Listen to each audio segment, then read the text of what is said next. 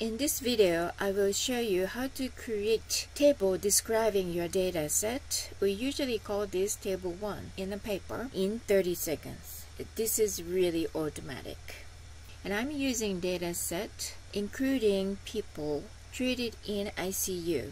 And patients were divided by whether they had right heart catheterization or not. This is people with and this is people without. Okay?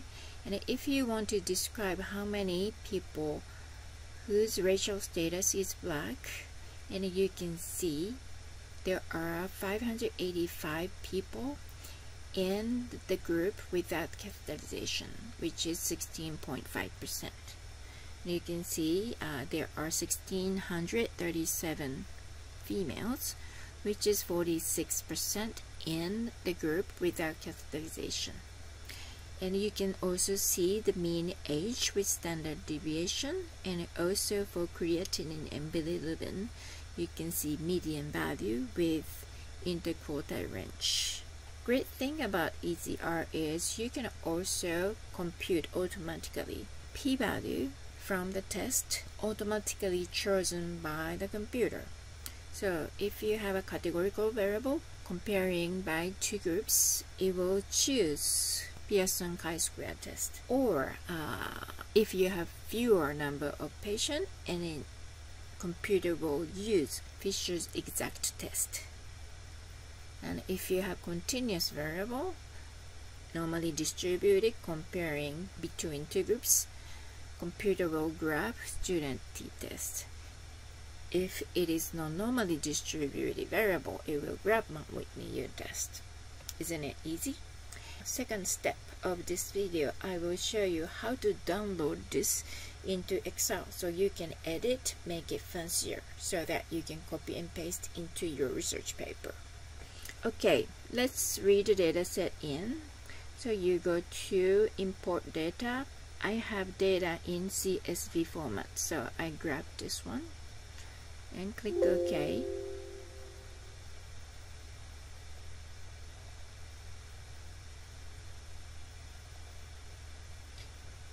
this is a data set I'm going to read in okay so what I'm going to do is I'm creating table by whether patient had right heart catheterization or not. 0 for patient without and 1 is for patient with catheterization.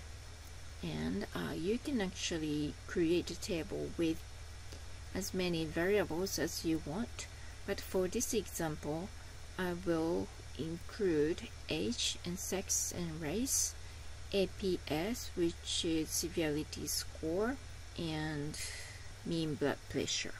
So you go to graphs and tables and choose one uh, actually second one from the bottom.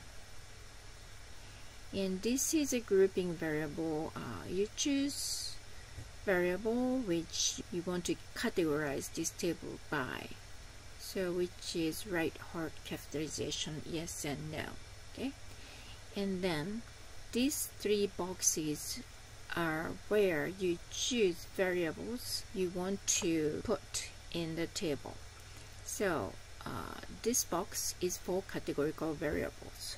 So I will choose race and sex from here so in order to choose multiple variables, and here is a trick. So you click race and click control button on your keyboard and keep pushing and then click sex. Okay, and then uh, these two boxes you choose continuous variables from and this is for normal normally distributed variables and this is for non-normal distributed variable. Actually uh, this is the variable you want to compute mean and standard deviation. And this box is for variables you want to compute median and interquartile range or minimum and maximum values for a range. Okay?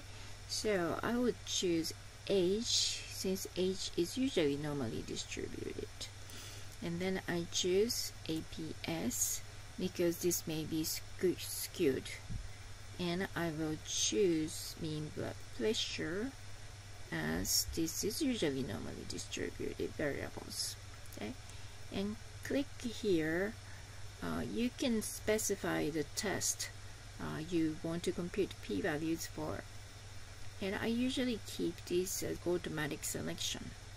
If you have frequencies enough to compute chi-square computer will automatically choose chi-square. And then if you if you don't have enough patient enough samples to compute chi-square it will use Fisher's exact test automatically. So you don't have to worry about which one to choose as long as you keep this as automatic selection and this is a button actually for these variables variable which you select as non-normally distributed.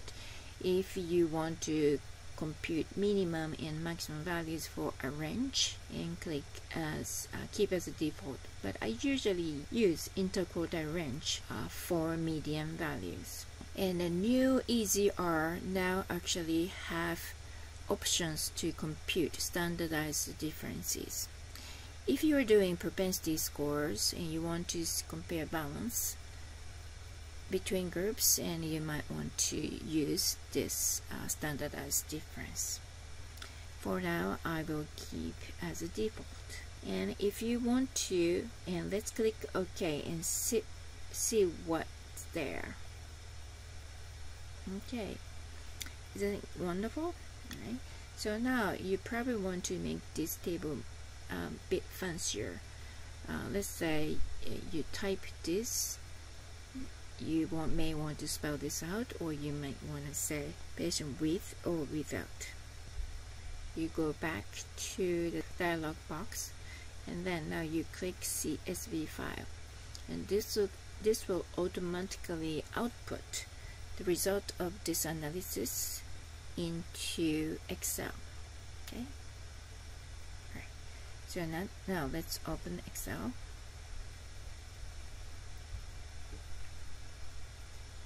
And here is table 1 and you just create it.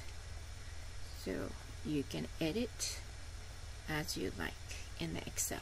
I hope the analysis with EZR you find very easy and quick